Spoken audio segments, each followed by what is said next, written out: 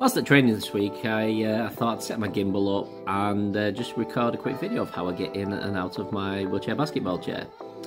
Uh, as you can see, I'm just doing undoing all the straps, and I'll talk through those as I'm uh, as I'm then putting them back in.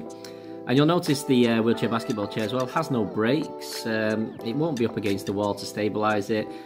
Um, what I'll do here is um, when I transfer into it, I'll move myself just to the front of my chair holding onto the frame of my day chair and then the frame of the wheelchair basketball chair, I'm able to hold it in place and just a nice easy transfer across.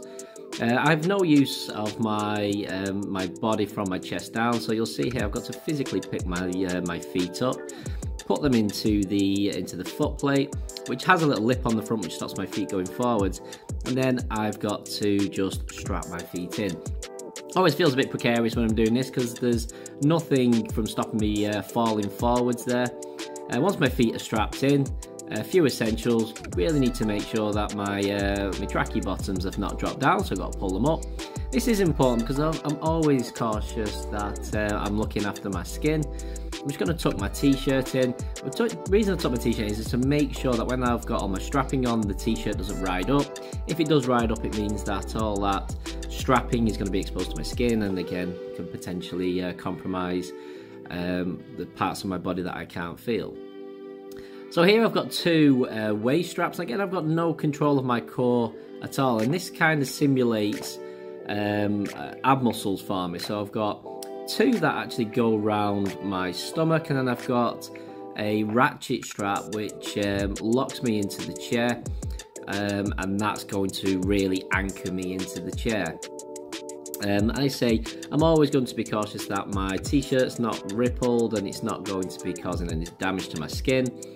Um, but this gives me a good amount of balance. Um, you know, considering I've got no core stability at all.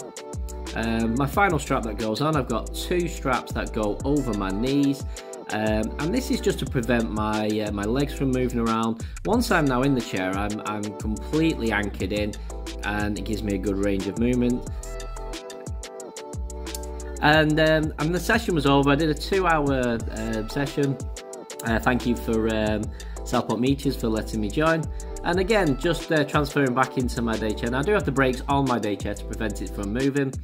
First thing I do, undo all the strapping, get my feet out. And the reason I want to get my feet out first is I want to try and transfer my feet locked in the foot plate. Um, and it's just how I got in. Move my front, myself to the front of the chair, hand on my day chair, quick transfer across, pop my feet back in the foot plate, and I'm safely back into my day chair. Thanks for watching. Don't forget to like and subscribe. If you want to follow me on Instagram or TikTok, you'll find the links in the description below.